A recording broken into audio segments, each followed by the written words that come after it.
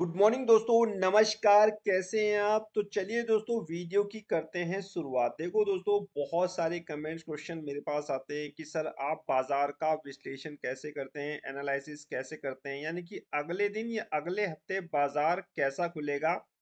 ये मैं आप लोगों को कैसे प्रिडिक्ट करता हूँ? तो मैंने सोचा, क्यों ना अगले हफ़्ते अगर मैं बाज़ार का एनालाइज कर रहा हूँ तो एक वीडियो आप लोगों के लिए बना दूँ, ताकि जो बिगनर्स हैं जो सीखना चाहते हैं, जो समझना चाहते हैं, वो भी बाज़ार को इस तरह अगर एनालाइज करें तो आराम से बाज़ार का वो डायरेक्शन पता कर सकते हैं कि बाज़ार ऊपर जाएगा या बाज़ार नीचे जाएगा। मैं अपनी क्लास में हमेशा आपसे कहता हूँ कि बाज़ार दो तरीके का होता है, एक बाय ऑन डिप और एक सेल ऑन राइस तो चलिए आज आप जो अगले हफ़्ते विश्लेषण में कर रहा हूँ, इस वीडियो के माध्यम से शेयर बाज़ार का, उसके माध्यम से आप सीख सकते हो समझ सकते हो, मेरा तरीका जान सकते हो कि मैं कैसे बाज़ार का एनालिसिस करता हूँ कि बाज़ार अगले हफ़्ते कैसा खुलेगा। देखिए, बाज़ार का एनालाइज करने के लिए एक तरीका होता है दोस्तों और उसी तरीके को मैं फॉलो करता हूँ, ठीक है? तो सबसे पहला क्या चीज़ देखनी चाहिए हमें? सबसे पहले देखनी चाहिए दोस्तों हमें कि विश्व में, पूरे विश्व में घटनाक्रम क्या हो रहा है। ठीक है कौन सी न्यूज़ इस समय चल रही है? तो आपको पता ही है कि सबसे मेन न्यूज़ है आपकी इसराइल और हमास के बीच, यानी जो फिलिस्तीन के बीच लड़ाई चल रही है, उनकी न्यूज़ पर आपको नज़र रखनी है। सबसे बड़ा फैक्टर है इंटरनेशनल फैक्टर, जो सभी इंटरनेशनल मार्केट और इंडियन मार्केट, जो भी शेयर बाज़ार है, उनको प्रभावित करने का दम रखता है। इससे क्या होगा? इससे देखो मिडल ईस्ट में क्या होता है अशांति और मिडल ईस्ट क्या होता है? ऑयल प्रोडक्शन में सबसे ज़्यादा साहब उसका हिस्सा है। अब जब मिडल ईस्ट में तनाव होगा तो क्या होगा? ऑयल जो प्रोडक्शन है, वो थोड़ा सा घट सकता है या रेट उसके हाई हो सकते हैं। ठीक है, कुछ भी जब लड़ाई का कारण होता है तो कैसे प्रोडक्ट प्रोडक्शन करेगा मिडिल ईस्ट क्योंकि मिडिल ईस्ट बहुत सारे लोग साथ हैं किसके? इसके फिलिस्तीन के जो फेवर है, कुछ लोग नहीं हैं। तो अब ये सारी चीज़ें डिपेंड करेंगी क्रूड ऑयल प्राइस पर, ठीक है? तो सबसे पहले देखा करो कि इंटरनेशनल मार्केट में क्या हो रहा है। अब आपने जब पूरी खबरों पे नज़र डाल लिया, विश्व की जितनी भी इंटरनेशनल खबरें हैं बड़ी बड़ी खबरें हैं, उस पर नज़र डाल लिया तो आपको देखना होगा कि उन खबरों का जो शेयर बाज़ार है, उन पे क्या रिफ्लेक्शन या इम्पैक्ट हो रहा है? तो इसके लिए वर्ल्ड मार्केट जो भी वर्ल्ड मार्केट है, उन पे साहब एक नज़र डाल लो कि जो खबर चल रही है, उनका विश्व के बाजारों पर क्या प्रभाव पड़ रहा है? तो आपको सारी चीज़ें बिल्कुल दोस्तों कहीं किसी से पूछने की ज़रूरत नहीं है, कहीं चीज़ों को जानने की ज़रूरत नहीं है, सिर्फ़ आप इन चीज़ों के माध्यम से, आराम से एक बाज़ार का एनालिसिस कर सकते हो। ठीक है? तो आज हम समझेंगे, देखिए ये ऐड आ गया है थोड़ा सा इस ऐड को जाने दीजिए, यहाँ से इसको क्लोज कर लेते हैं।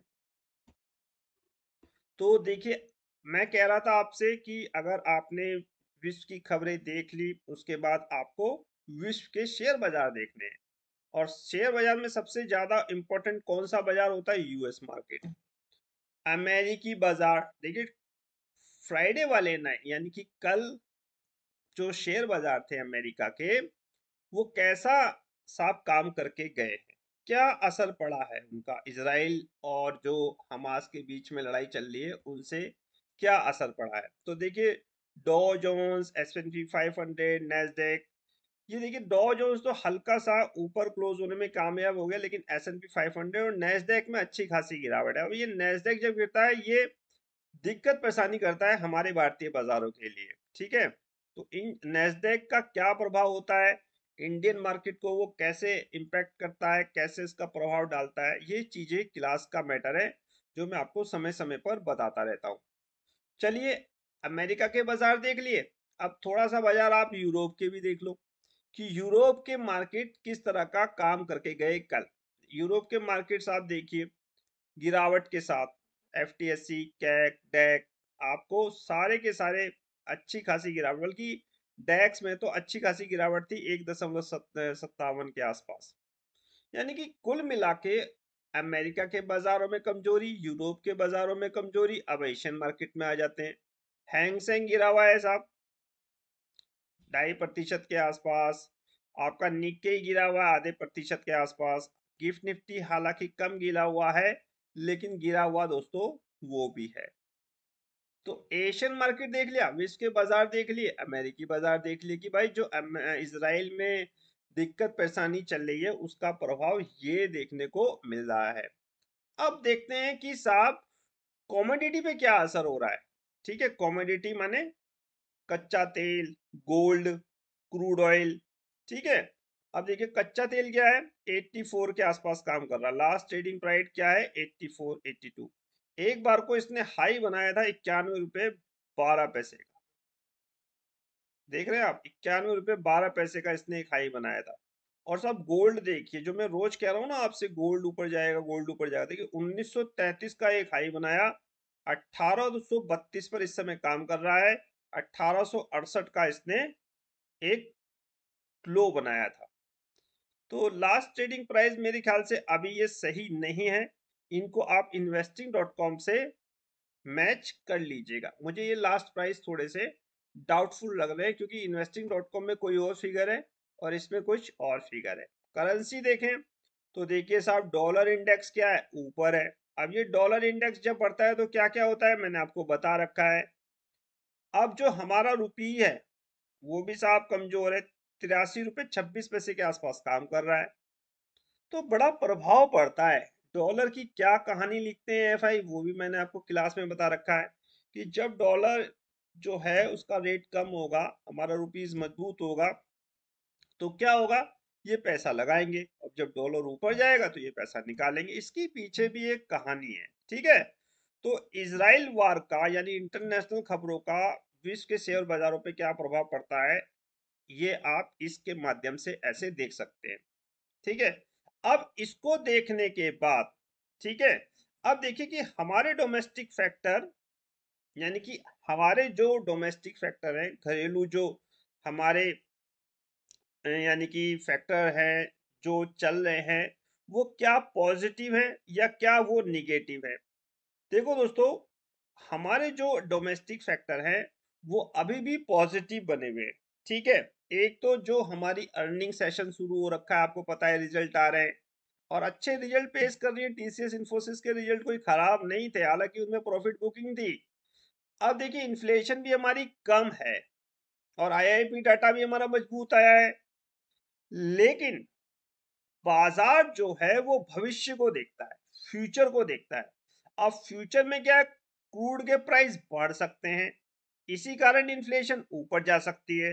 और यही बात हमारी माननीय निर्मला सीतारमण जी कह रही हैं कि आने वाले समय में, दोस्तों, आने वाले समय में आपका जो ऑयल प्राइस है, वो बढ़ सकता है। देखिए, इन्होंने क्या कहा है? East conflict rise fuel price concern से एफ़ एम सीतारामन इन, ये एक मीटिंग कर रही हैं मोरक्को में, ठीक है?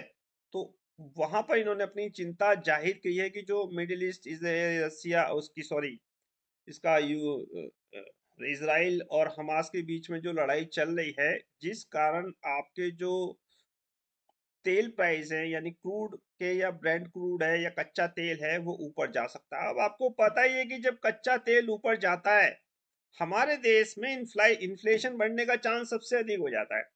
और जब साहब इन्फ्लेशन बढ़ती है तो आपको पता ही है कि आरबीआई के पास एक हथियार है। और वो हथियार क्या है? इन्फ्लेशन को कम करने का। अब इन्फ्लेशन कम कैसे होती है?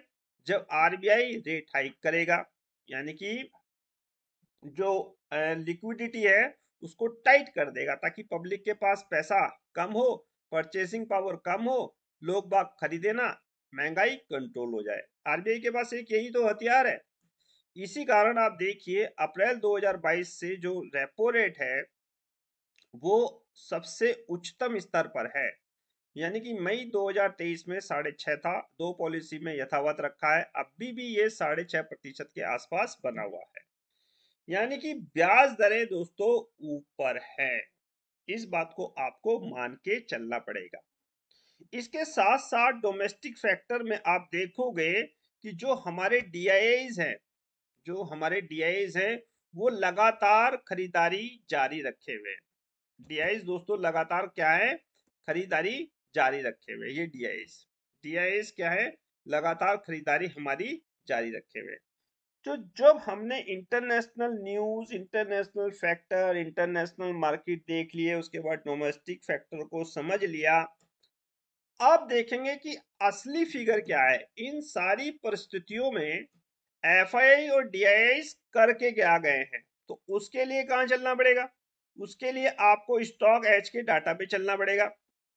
और स्टॉक एच के डाटा पे अगर आप जाओगे तो आपको सारी चीज़ें पता चल जाएँगी कि साहब जो एफ़ आई हैं, वो करके क्या गए हैं। तो सबसे पहले आप निफ्टी के चार्ट को खोलिए, आपको निफ्टी का चार्ट खुल जाएगा। ये खुल गया साहब। देखिए निफ्टी का चार्ट आपको दिखाई दे रहा है। कहाँ खुला कहाँ बंद हुआ ठीक है फिर एक रेंज बाउंड ट्रेडिंग हुई फिर ऊपर चला गया ऊपर जाने के बाद फिर एक नीचे आ गया। एक हाई बना इसका 805 का एक लो बना 19,635 का और उन्नीस पर ये क्लोजिंग देने में कामयाब हो गया। जब इसकी रेंज को समझेंगे तब मैं आपको इसके बारे में और बताऊँगा। तो 19,750 के ऊपर इस समय निफ्टी क्लोज होके गया है और बैंक निफ्टी साहब 311 पॉइंट नीचे क्लोज होके गया है चौवालीस पर। ठीक है एक कंसोलिडेशन रेंज एक रेंज बाउंड ट्रेडिंग हुई उसके बाद ऊपर गया उसके बाद फिर नीचे आया। ऊपर से ये नीचे जो आया है ना ये ये खतरे का साइन लग गया था मुझे कि भैया कुछ ना कुछ गड़बड़ है जिस कारण ये ऊपर अपने जो ऊपरी स्तर है, उनको सस्टेन नहीं कर पा रहा है। अब इन दोनों चार्ट को देखने के बाद आप ये देखो कि जो बड़े मछली है, यानी कि जो स्मार्ट मनी है, वो करके क्या गई है? अब स्मार्ट मनी में सबसे ज़्यादा किसको अहमियत देनी चाहिए? आपको एफ़ को अहमियत देनी चाहिए। हालाँकि प्रो और डी का डाटा भी देखना चाहिए। वो क्लास में मैं आपको बताता हूँ कि किस तरह आप एक टेबल बना सकते हो। और टेबल में आप किस तरह सारी चीज़ों को लिख सकते हो कि एफ़ आई कैश में कितना है एफ़ आई फ्यूचर में कितना है एफ़ आई ऑप्शन में कितना है स्टॉक फ्यूचर इनके पास कितना है स्टॉक ऑप्शन इनके पास कितना है, ठीक है ठीक है प्रो क्या है बुल है बेरिश है, अगले दिन की पोजीशन कितनी कैरी करके गए, बहुत बड़ी टेबल में बनाता हूँ, ठीक है ओपन इंटरेस्ट भी आपको उसमें मैं बताता रहता हूँ पीसीआर वगैरह है तो ये सारी चीज़ें आपको दोस्तों देखनी आनी चाहिए, यानी कि जो बिग प्लेयर है, जो स्मार्ट मनी है, वो करके क्या गए ठीक है? चलिए मैं आपको थोड़ा सा इसमें बता देता हूँ कि कैसे आपको इसको देखना है। देखो दोस्तों, जो एफ़ का डाटा है, उसको देखने के लिए सबसे पहले ये देखो कि जो एफ़ कैश में क्या करके गए ये कल 317 करोड़ का माल खरीद के गए थे। लेकिन ऐसे माहौल में जब एफ़ लगातार बिकवाली कर रहे हो, तीन महीने से और ये छोटी सी फिगर आपको खरीदारी करके दिखा रहे हैं। तो इसका मतलब ये कतई नहीं है कि ये क्या हो गए हैं? बुल हो गए। ठीक है? इसका मतलब कतई नहीं है कि ये बुल हो गए। इनके झांसे में, इनकी जाल में आपको नहीं फंसना है। क्योंकि इंडेक्स फ्यूचर इन्होंने बेचा है। इंडेक्स ऑप्शन ये दस हज़ार सौ बयासी करोड़ का बेच के गए हैं। और देखिए डीआईएस भी, ने भी साफ़ थोड़ा सा अपना माल बेचा है। ये थोड़ा सा मुझे आश्चर्यचकित करता है क्योंकि अगर इस लेवल पर डीआईएस भी बेचने लगे तो फिर बाज़ार के लिए बहुत बहुत बहुत बड़ी समस्या उत्पन्न हो जाएगी। ठीक है? बाकी आपको मैं ये चीज़ें बता रहा हूँ कि कैसे आपको इनको फिगर को देखना है। थोड़ा सा और अगर आप डीपली जाएँगे तो देखें कि पोजीशन कहाँ पे खड़ी हुई है। देखिए, क्लाइंट क्या करके गया है? क्लाइंट जो परसों यानी थर्सडे को उनहत्तर हज़ार पिचासी लॉन्ग कॉन्ट्रैक्ट बना के गया था इंडेक्स फ्यूचर में। उन्होंने अपने लॉन्ग कॉन्ट्रैक्ट बढ़ा दिए। अब इतने कर दिए सतहत्तर हज़ार आठ सौ नवासी। यानी कि जो क्लाइंट है वो क्या है? बुल नज़र आ रहा है। डी आई बेरिश है। इन्होंने अपने जो कॉन्ट्रैक्ट हैं शॉर्ट के, वो सोलह हज़ार पहले एक सौ पिचासी थे, अब दो सौ चौबीस थे। इन्होंने थोड़े से कॉन्ट्रैक्ट बढ़ाए हैं। और सबसे बड़ी बात एफ़ आई ने। एफ़ आई ने इंडेक्स फ्यूचर में सत्तर हज़ार छह सौ सैंतालीस से लॉन्ग जो अपने कॉन्ट्रैक्ट हैं, शॉर्ट कॉन्ट्रैक्ट हैं, उनको बढ़ा दिया आप कर दिया इक्यासी हज़ार ज़ीरो सतहत्तर। और साहब प्रो प्रो ने साहब अपने जो लॉन्ग कॉन्ट्रैक्ट थे उनको बढ़ा दिया है उन्नीस हज़ार चार सौ बारह। यानी कि प्रो और क्लाइंट, भारतीय बाजारों पे बोलिश है, एफ़ और डीआई ये बेरिश है। अब थोड़ा और डीपली चलते हैं। देखो दोस्तों, क्लाइंट को देखिए। क्लाइंट क्या करके गए कॉल को बाय करके गए हैं। एफ़ आई भी पिचासी हज़ार की कॉल को बाय करके गए हैं। लेकिन एक चीज़ देखिए साहब, जो क्लाइंट कल तक कॉल को बेच के जा रहा था, आज उसने कॉल को बाय कर लिया है। जो एफ़ कल तक कॉल दो लाख चौतीस हज़ार थी, उन्होंने अपनी कॉल सारी निकाल दी हैं। अब उनके पास सिर्फ़ पिचासी हज़ार एक सौ दो कॉन्टेक्ट कॉल के खड़े हुए हैं। यानी कि एफ़ ने अपनी कॉलों को बेचा है, प्रॉफिट बुक करा है। और जो कॉल एफ़ ने बेची है, वो किसने खरीद ली है साहब? वो खरीद लिए आपकी क्लाइंट ने। यानी कि क्लाइंट बुलिश है, मैंने इंडेक्स फ्यूचर आपको बताया। अब प्रो देखिए, प्रो क्या करके गए कॉल बेच के गए ये देखिए साहब, प्रो क्या करके गए कॉल बेच के गए हैं। तो एफ़ ने कॉल बेची प्रो ने कॉल बेची तो बाज़ार कैसे, आप ये मान के चलो कि एक नया हाई बीस हज़ार के पास बना देगा। ठीक है? डी बेचारे न्यूट्रल रहे कॉल साइड में। अब बात आती है पुट साइड की। अब देखिए साहब, जो क्लाइंट थे जिन्होंने थर्सडे वाले दिन चार लाख छियानवे हज़ार चार सौ उनसठ की पुटे बेची थी, अब इन्होंने अपनी पुट बढ़ा दी है, पाँच लाख उन्यासी हज़ार नौ सौ उनसठ कर दिया है। यानी कि इन्होंने तेज़ी देख रहे हैं ये बाज़ार में। जब पुट जो है ये बेचता है कोई भी तो वो बाज़ार में तेज़ी देखता है। इनके कितने कॉन्ट्रैक्ट हो गए? पाँच लाख उन्यासी हज़ार नौ सौ उनसठ। डी ने पुटे खरीदी हैं एफ़ ने पुटे खरीदी हैं और प्रो ने भी पुटे खरीदी हैं। स्मार्ट मनी पुट खरीद रहा है और साहब आपका रिटेलर क्लाइंट पुट को बेच रहा है। तो कैसे बाज़ार ऊपर जाएगा? अपोजिट डायरेक्शन में हमें काम करना ही नहीं है। जिस जगह स्मार्ट मनी काम कर रही है, हमें सिर्फ़ वही काम करना है। अगर हम इनके विपरीत काम करेंगे तो क्या होगा हम फंस जाएँगे? चलिए साहब, ये डाटा देखने के बाद आपको जो लास्ट काम करना है, वो करना है निफ्टी की रेंज निकालनी है। क्या करना है? निफ्टी की आपको रेंज निकालनी है। अब रेंज निकालने के लिए आपको क्या करना है दोस्तों? सबसे पहले आप निफ्टी का फ्राइडे वाला दिन फ्राइडे वाला लो देखो। ये वाला। देखो, मैं आपके लिए दिखाता हूँ। ये वाला लो देखो। ये फ्राइडे का लो है और ये फ्राइडे का हाई है और हमारा जो निफ्टी वो बंद होके गया है, यानी गिफ्ट निफ्टी वो कितने पे बंद होके गया है? 600 कुछ के आसपास बंद होके गया है, देखते हैं। तो गिफ्ट निफ्टी की भी क्लोजिंग देखनी बहुत ज़्यादा इंपॉर्टेंट होती है। तो साहब, यहाँ से हम इस गिफ्ट निफ्टी की क्लोजिंग देखते हैं कि गिफ्ट निफ्टी कितने पर साहब क्लोज होके गया है।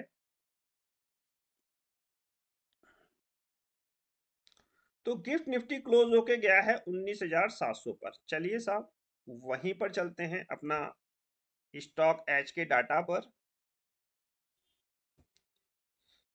और देखिए,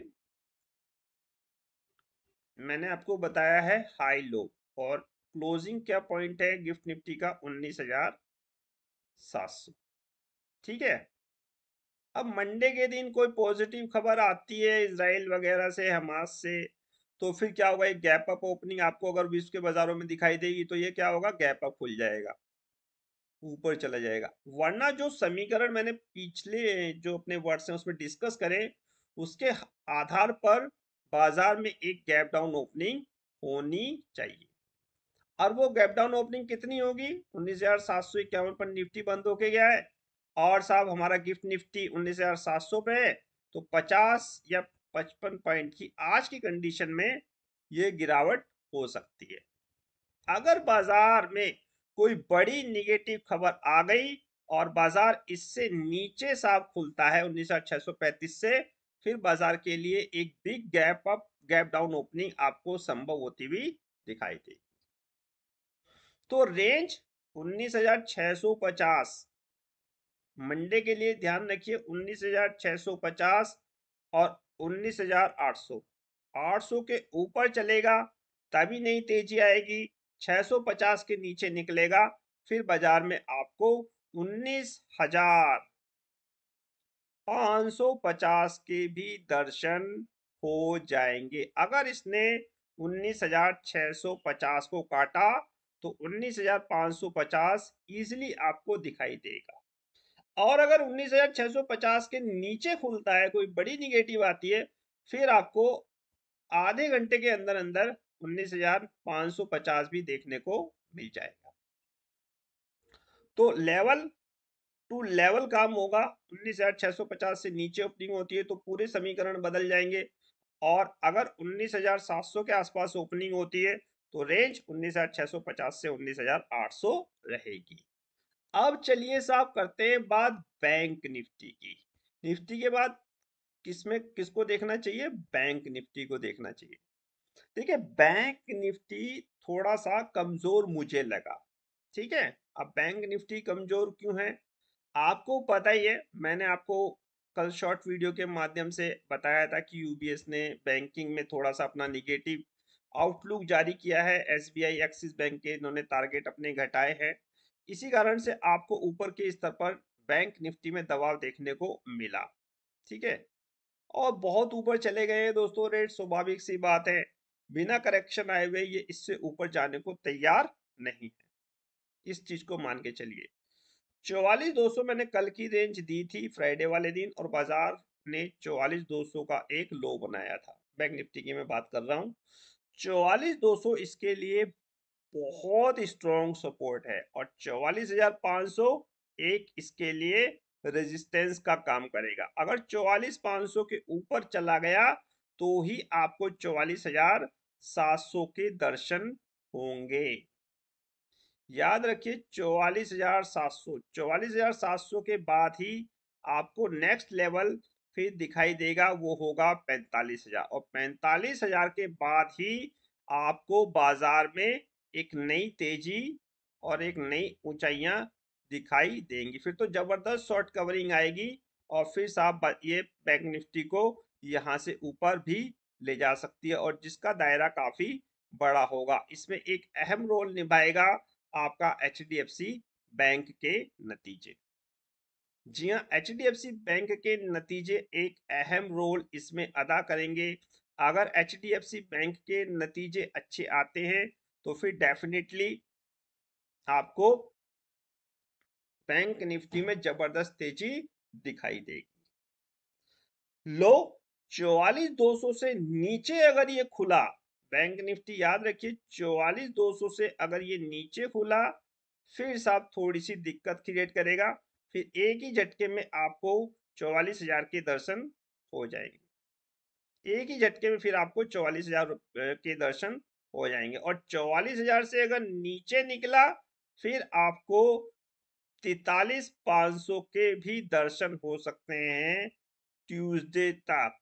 ये मान के चलिए तैतालीस 500 के भी दर्शन हो सकते हैं बाज़ार में आपको ट्यूसडे तक।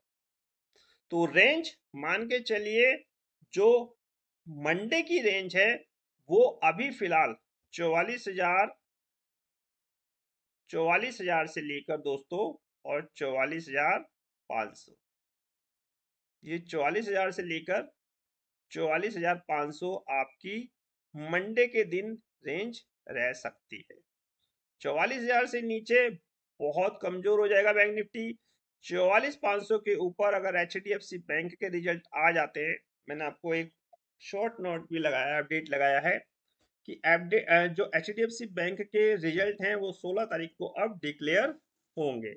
दो दिन इनकी बैठक चलेगी और फाइनली जब बोर्ड ऑफ़ डायरेक्टर अप्रूवल दे देगा 16 तारीख को होगा वो तो 16 तारीख को ये अपने रिज़ल्ट को डिक्लेयर करेंगे। पहले ये कहा जा रहा था कि 15 तारीख को ये रिज़ल्ट डिक्लेयर करेंगे। तो बैंक निफ्टी पूरा डिपेंड करेगा एचडीएफसी बैंक के रिज़ल्ट पर। रिज़ल्ट अगर अच्छे आए तो डेफिनेटली एक अच्छा मूवमेंट आप देखोगे बैंक निफ्टी में। और ऊपर के स्तर को सस्टेन कर पाएगा, नहीं कर पाएगा, ये देखने वाली बात होगी, क्योंकि एफ़ जो है, वो बिकवाली के ही मूड में है। रही बात इंटरनेशनल फैक्टर की, वो निगेटिव है, यानी कि वहाँ से हमें कोई भी सहायता नहीं मिल रही क्रूड का बढ़ना हमारी इंडियन इकोनॉमी के लिए अच्छा नहीं है। डोमेस्टिक फैक्टर मज़बूत बने हुए हैं, जिसमें डीआईएस की बाइंग अर्निंग सेशन और साहब अभी मैंने एक शॉर्ट वीडियो पोस्ट करी थी, उसमें मैंने आपको सारी चीज़ें बताई हुई हैं कि जो डीआईएस की बाइंग है और जिस प्रकार हमारी सरकार कैपेक्स को बढ़ावा दे रही है और साहब जिस प्रकार हमारी इन्फ्लेशन और आईआईपी डाटा जो है वो मज़बूत आया है उसको देखते हुए फ़िलहाल इंडिया में कोई दिक्कत नहीं है, लेकिन ये बाज़ार है, ये भविष्य की अनिश्चितताओं पर चलता है कि भविष्य में क्या होगा। भविष्य में क्रूड रेट बढ़ सकते हैं, इन्फ्लेशन बढ़ सकती है इसराइल हमास के लड़ाई के कारण, क्योंकि पहले से ही यूक्रेन रशिया के कारण दिक्कत में थी, वर्ल्ड इकोनॉमिक।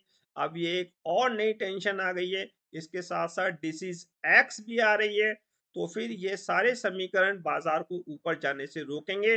ऊपर के स्तर पर आपको दबाव देखने को मिलेगा और बाज़ार में आपको एक गिरावट देखने को मिल सकती है। अब देखने वाली बात ये होगी कि ये गिरावट कितनी बड़ी होगी, क्योंकि एफ़ का लॉन्ग इस समय 25 के आसपास है और डीआईएस अच्छी खासी कैश साइड में बैठे हैं। अगर डी भी एफ़ के साथ बिकवाली करने लगे तो फिर डेफिनेटली बाज़ार के लिए वो एक भयावह स्थिति होगी। तो दोस्तों, मैं इस प्रकार अपनी विश्लेषण की या एनालिसिस की जो भी वीडियो आप लोगों के लिए बनाता हूँ, मैं इस प्रकार एनालिसिस करता हूँ। इसके अलावा इनसाइड ट्रेडिंग या स्मार्ट मनी के डाटा को और क्लोजली वॉच करता हूँ। उसके साथ साथ मैं PCR open interest MSD Bollinger RSI वगैरह आप लोगों को सिखाता हूँ।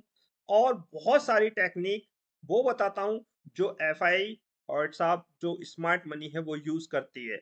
वो सारी चीज़ें मैं आपके साथ क्लास में डिस्कस करता हूँ। क्लास में इसके अलावा आपको और भी बहुत सारी रोचक जानकारियाँ मिलेंगी। तो आप क्लास में जुड़कर और भी बहुत सारी चीज़ों का फ़ायदा उठा सकते हैं, शेयर बाज़ार को समझ सकते हैं। फ़िलहाल इस वीडियो को समाप्त करने की मुझे आज्ञा दीजिए। नेक्स्ट वीडियो में नए अपडेट के साथ होगी मुलाकात। तब तक इंतज़ार कीजिए। फाइनली दोस्तों आपसे कहता हूँ, अलविदा और फिर मिलूँगा आपसे नेक्स्ट वीडियो में। तब तक नमस्कार।